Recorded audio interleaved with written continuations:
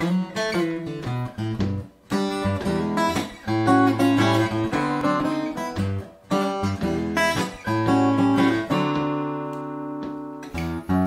up this morning, realized I was dead. No more aching in my back or thinking in my head.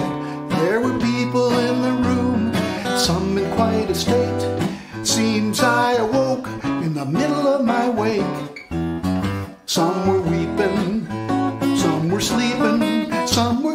kinda sad, some were kinda glad. Meditating, speculating, and waiting until the moment came for the reading of my will. Well, I'd forgotten all the crap I put in my last wishes, hadn't taken out the trash or put away the dishes. It's too late now for such regret. Everyone just gonna get what they get. There's no more kicks at the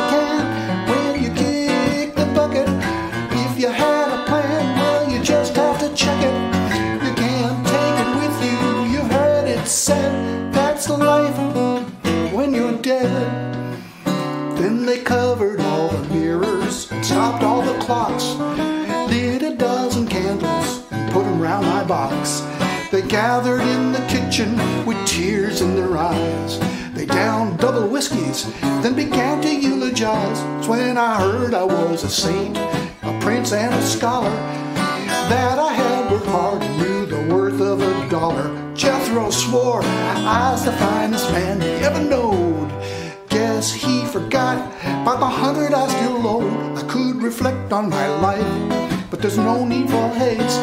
What's the point of going fast with eternity to waste? Used to think that I could change the fatal finger of fate. It's never too late. Too late is your state. There's no more kicks at the can when you kick the bucket. If you had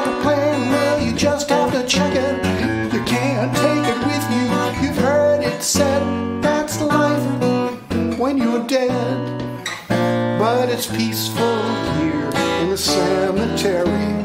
Life was really just a dream. Laughing forever and making merry. Roll, roll, roll, rolling down the stream. So if you wake up one day and find you're on ice, here's a little tip, some friendly advice. Life ain't all it's cracked up to be, water's just fine in eternity. There's no more kicks at the can when you kick the bucket. If you had a plan, well, you just have to check it. You can't take it with you.